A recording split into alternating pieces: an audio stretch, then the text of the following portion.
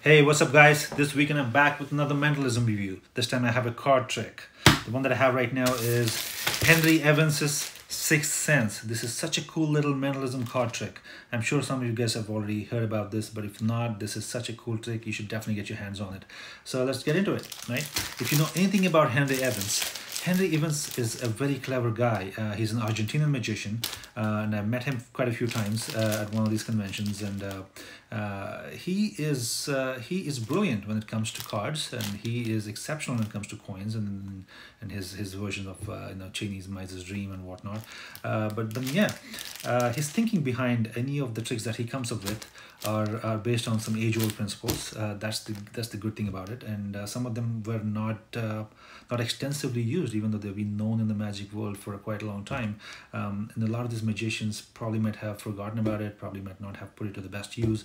But Henry Evans does it really well, and he uses those principles and brings life back into these uh, great little card tricks, and, and uh, which can be deemed as mentalism card tricks, as, as we say. Um, so yeah, so what is uh, Sixth Sense? Sixth Sense is essentially a card trick, as I told you about.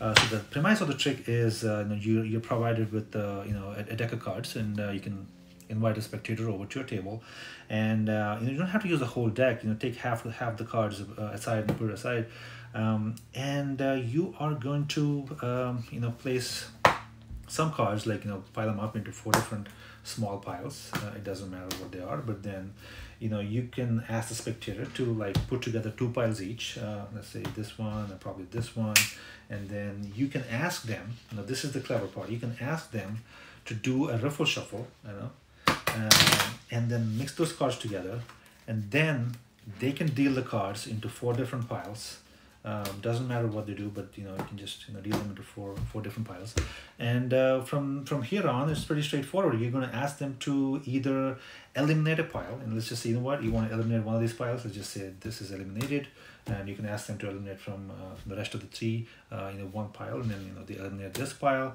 You're left with one of the other. You can ask them to like pick one pile or eliminate another pile. It doesn't matter. You know throw it out. There's no equivoque and it's just a free choice. You can pick any of the piles. Now watch. This is where it gets interesting. And then if the if this um, this pile that the spectator is left with you know you're going to ask them to just look at the pile and then you know just just go through the pile. Just think about it. And you're not even you're not even looking at these cards you can be totally blindfolded this is such a great little trick and then you are going to read their mind you know going through the cards that these guys are actually handling it. You're not handling it, the spectator is handling it. So you're blindfolded. You're going to oh, you know what, there's actually a four of diamonds in this. Yes, there's a four of diamonds. You can say, oh, there's a seven of spades in this. Yes, there's a seven of spades in this. You took it away. So you read, you go through the pile that they're left with and you essentially read through the cards uh, and what they are left with. And that is what uh, is so great about this trick. And this is such a great little mind reading mentalism card trick. And I, I so loved this trick whenever whenever I saw this uh, uh, Henry Evans uh, in a performance trick. So this is this is such a cool little trick. So the premise of this trick is pretty simple, uh, and and the fact that you're shuffling the cards itself is such a magician fooler. A lot of people would be like, "Oh, you're shuffling the cards as well." I thought there's some sort of a stack to it or whatnot. But you know what? Nothing. This is such a great cool uh, card mentalism trick. Now there is a principle involved here when you're trying to shuffle the cards and I'm not sure how many of you guys are really aware of it and I know that a lot of a lot of you guys might have heard about it but at the same time might not have put it to the best use and that is called the Gilbreath principle. And, and talking about Gilbreath principle uh, and the first person that comes into my mind is Max Maven obviously. He's the one who has introduced me to the world of uh, um, world of uh, mentalism and then uh, I look up to him and uh, and yeah, I, I, saw him talk about uh, Gilbreath Principle in one of these conventions that I went to last year.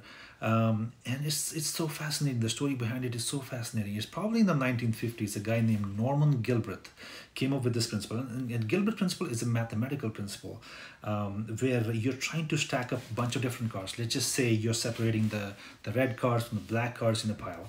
Um, and then you're trying to do an American riffle shuffle. And then uh, majority of the times, the stacks uh, you think of uh, are going to be like lined up together. Let's say black card, red card on top of it, black card on top of it, red card on top of it. And that is the idea behind it. Even though it doesn't do the justice uh, when you're trying to explain how the Gilbert principle works, but that essentially is the basic idea behind uh, Gilbert principle. Now, Gilbert principle could be applied to multiple different things. You know, imagine, you know, having a stack of stack of cards. Let's just say you have you have stock you have a stack of cards from one to ten, and then you have a reverse stack of cards from ten to one, and you do an American riffle shuffle. It still retains the order. That's such a beauty. Uh, a lot of people didn't know how this Gilbert principle works.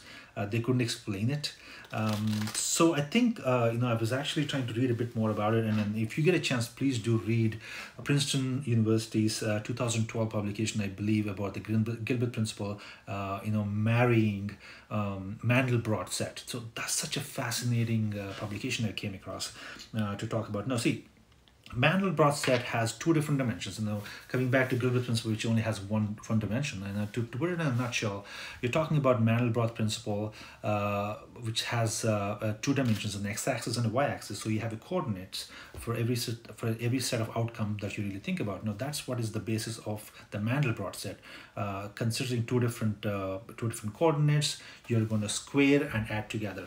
So talking about squares, let's just say if you take smallest number as two, um, the first one is 2, second squaring that will become 4, another one will become probably 8, and then squaring 8 will become 64, squaring 64 will become 6,000, sorry, 65,536 or something.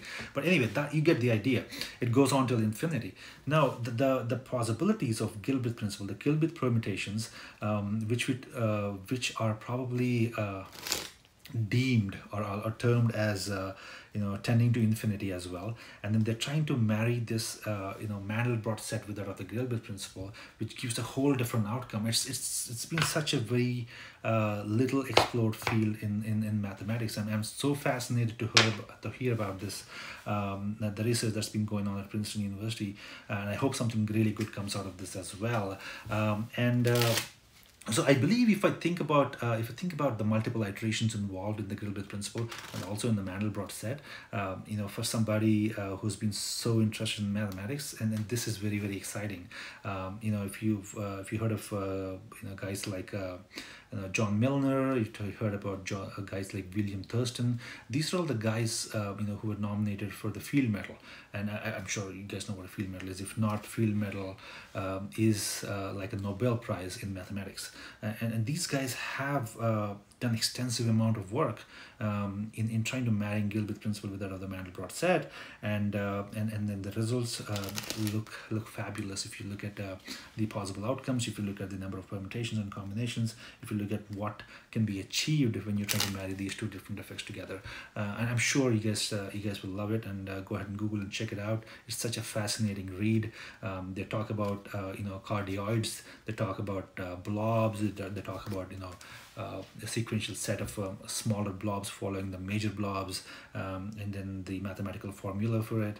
Um, so yeah it is it is a fascinating field of uh, quadratic differentials I should say um, and I'm sure you'll love it. So anyway um, before you know swaying away too much from the topic uh, I want to bring you guys back to this little trick. This is such a cool little uh, card trick from uh, from Henry Evans, and you should check it out. It's probably uh, twenty dollars from Penguin Magic uh, if you order it, and I'm sure you'll love it. Um, do let me know your thoughts on um, card tricks like this and uh, Gilbert principle and any of the mathematical principles involved uh, in in presenting and performing a, a card magic mentalism trick. All right, thanks a lot for watching. See you guys next week.